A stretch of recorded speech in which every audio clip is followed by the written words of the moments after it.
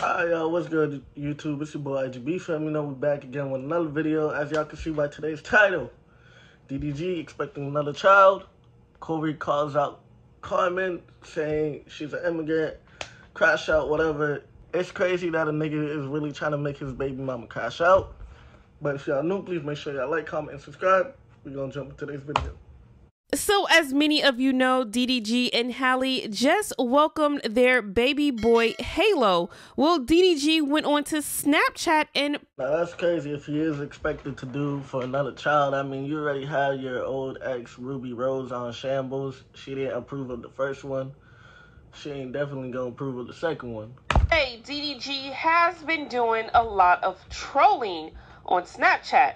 But let's move on to this next topic with Reginae and Lucci. Now, if you guys remember, Reginae was in a relationship with Lucci before he went into jail. Now, Lucci has been in jail for a while while going to trial. Well, yesterday he was finally sentenced with 20 years and the judge gave him time served. So he had 10 years to actually be in prison and 10 years on probation. So Damn, buddy crashed out. 10 years on probation is crazy.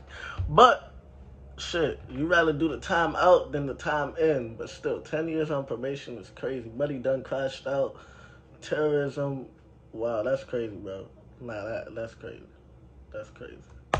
It looks like that he may be home soon, serving his 10 years on probation. Well, Reginae went on to Twitter. She started tweeting things like, Reg forever loyal and mind your business that pays you once again. Now, people were saying that Reginae wasn't loyal because after Lucci went to jail, she pretty much moved on with her life. But I think actually they broke up before he went into jail. Anyway. I mean, like, fellas, I think everybody knows from the jump when she you go to prison, your girl you already know she ain't gonna stay loyal. Come on now, bro. She's not gonna stay loyal. Kids involved, no matter what, she ain't gonna stay loyal. But it's best to break up before you go in there so you don't have to stress yourself out. Reginae stated, Now, how I get in it is my mood for today. Now, a couple blogs on Instagram started thinking that all of these tweets definitely had something to do with Lucci, but Lucci is in a whole nother relationship. His girlfriend posted, See you soon, baby. Now let's move on to this next topic with Ken and his girlfriend Juju. Now she recently posted a photo with a ring and stated, I said yes. Now, when someone sent this to me, by then Juju had already deleted it off of her Instagram. So that person then contacted Juju and stated, Congratulations on you and Ken. Juju responds with, LOL, girl, it was a game. I was playing. Now, Juju and Ken have been.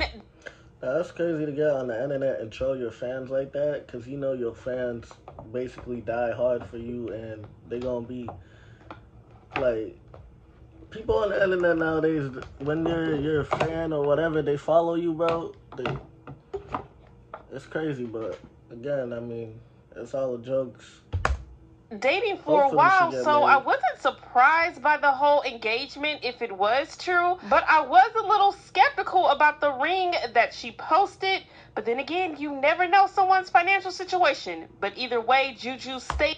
I mean, to be honest, it wouldn't really matter about the ring. Honestly, I think it's like thought of it. You feel me? Because engagement, fucking proposing to someone is a fucking big, you know, commitment. So like, it wouldn't really matter about the ring or whatever. But to some people, it matters about how much is on their finger, which is crazy nowadays in society that it wasn't true. It was just a game. But let's move on to this next topic with Carmen and Corey. So I'm assuming that Corey has been trying to see his kids, and Carmen is still not up for it. So he went completely off on her on Facebook. And then people started jumping in. Yeah, do, do y'all think that consider like her not making him seeing his kids? Would y'all say she a bitter baby mama? I wouldn't. I don't know their situation. This nigga just crazy. But like, you know, I wouldn't necessarily say she a baby bitter baby mama, but you know, we gonna see what they say. And to defend Carmen. Now, first, Corey went off by stating, I regret meeting certain people. I regret having kids with an immigrant. If I had knew what I know now, I would have left when I should have once I found out what I was dealing with. Having a good heart can put you in an effed up situation down the line. Evaluate everything before committing. Yo, nah, that's crazy. To go ahead and call your baby mama a fucking immigrant is insane. That's insane. Because half of this fucking country is populated with immigrants. So, therefore, you're not really gonna jump into that topic. But, like, he's not wrong. No, I'm not saying he's he's right for calling her that. No.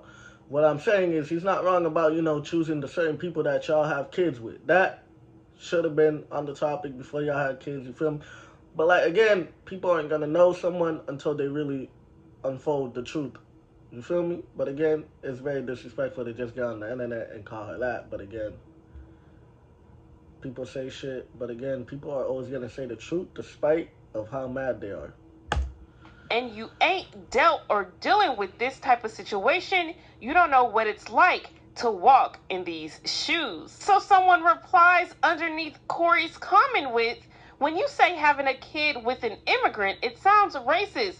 Poor choice of words from an immigrant. Corey states, y'all the poor ones using Americans to get citizenship. Someone Nah, that's crazy. Y'all the poor ones. Wow. Wow. I mean, that's very class act by Corey, but like, shit just to say like that is crazy. Like, okay, buddy. Someone else states the F does being an immigrant gotta do with anything. LOL, you wasn't tripping when you was in that thing, cuh. Ish happens. It's a part of life. Corey states, you know who I am, bro? I'll F your mother and your daughter if you were to ever have one. Never a problem, G. When kids involved, it hit different. A Nah, that's crazy for him to say, I'll fuck your mother and your daughter is crazy. Now this man is fighting for his life in the comment section. It's another thing, you know, to say what you said, but going on the, you know, comment section to address it is crazy. Now, that's absurd, man. If you ask me, that's absurd. Another person stated, Wow, hope your kids don't see this one day. Corey responds with, I'll tell them. Someone else says, The immigrant helped you get where you're at now, buddy. Corey states, No, you got it twisted. I helped that immigrant get to where she at. Stop it and don't speak on something you don't know the facts to. Another Nah, that's crazy. To just blatantly get on the internet and say your baby mama's a fucking immigrant is crazy. But again, that's his baby mama. That ain't my baby mama. That I don't know her like that. But like again, that's very disrespectful to do that shit. But again, you know, choice of words. He could have used different words, but he wants to use those exact choice of words. This man is really out here trying to make his baby mama crash out, which is very sad. Like it's crazy. The person states, dude be crying his ass off, but made money off her in videos and started cheating. Now crying. Own up and boss up, thug. You made that bed, now lay in it. We can't save you. LMAO, we just here to be nosy. Corey states, you obviously ain't got no kids. And then he responds back with, I'm just saying, you do you and she do her. Why cry, thug? I thought you left her, but have two kids. LOL. Corey stated, Drive your truck, buddy. Stay out of rich folks' business. Who broke in words will never have the problems we have. So now this last person speaks on the whole situation with Corey getting custody of the boys. She states, there is a waiting period. They have to verify address, family, and everything. You laughing, but I ain't the one with the situation. You is. I was just telling you it's not easy to get custody and send her back to her country. Corey then responds with, When you commit a crime as an immigrant, trust me, you can get sent back quick. So I'm guessing now Corey is stating that Carmen has committed. Now that's crazy. he's really going all out and all in on her ass. Like I understand you want to see your kids, but like to make the baby mama like go away to a different country is absurd. Like y'all, y'all can't just co-parent at this point. Like y'all, y'all niggas just crashing out badly. He he's dead ass trying to make her crash out badly. Like niggas can't co-parent at this point a crime, and that's going to be his way of getting her sent back to her country. Now, I'm not sure how true any of this is. I'm just posting what Corey stated on Facebook. This post has since been deleted.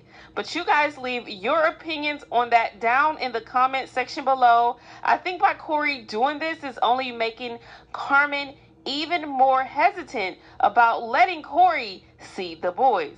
But again, you guys leave your opinions on this and everything else in this video down in the comment section below. Now, Corey has been on Instagram on live, and I guess he's trying to get people to sign up for some of the courses that he's going to be running. All right. But I always knew I had a purpose over my life to impact people. And if you go back on my social media, matter of fact, I was on Facebook last night, and I went on my other phone and I pulled up my Facebook and I pulled up my old statuses all the way from 2011, 2013. And you can see what I always had on my heart. Like, hey, I want to impact lives. Like, that, that's just always been me, right? And so I'm at right now, I, this year, like, I kind of like a little bit lost myself because I was like, man, okay, what the fuck I want to do? Nah, I think you done lost yourself fully. I think you done lost yourself fully. Like, all due respect, my nigga, I don't know you.